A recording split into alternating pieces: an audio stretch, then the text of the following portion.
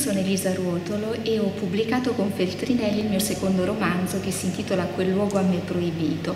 È una storia per me particolare perché rappresenta il ritorno alla prosa dopo una parentesi poetica ed è la storia di una iniziazione alla vita, ai sentimenti, raccontata dalla prospettiva di una donna che io chiamo donna bonsai.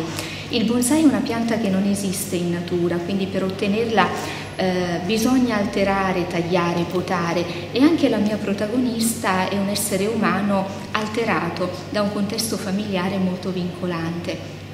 Intorno a lei ci sono tantissimi luoghi proibiti, proibita è la gioia, proibita è per esempio la conoscenza intima del proprio sé, eh, è proibito addirittura il proprio corpo e ehm, sicuramente tutto ciò incide sulla vera natura di questo personaggio che nel momento in cui incontra l'amore eh, subisce proprio uno smottamento. Io provo a raccontare sicuramente quanto sia immorale il dolore nel momento in cui si segue quella che non è la propria natura e soprattutto cerco di rispondere ad una domanda, se siamo prodotto della natura o della costrizione, cioè dell'educazione. Ci sono dei padri dietro questo libro, questa storia. Sicuramente c'è Dostoevsky, che è una lettura che credo di poter consigliare eh, soprattutto ai fratelli Karamazov, perché in Dostoevsky ho sempre trovato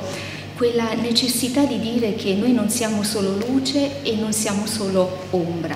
e che queste due nature possono convivere tranquillamente. E poi ho trovato anche nei fratelli Karamazov quell'affermazione molto vera che dice che probabilmente noi desideriamo più obbedire, delegare la responsabilità anziché scegliere.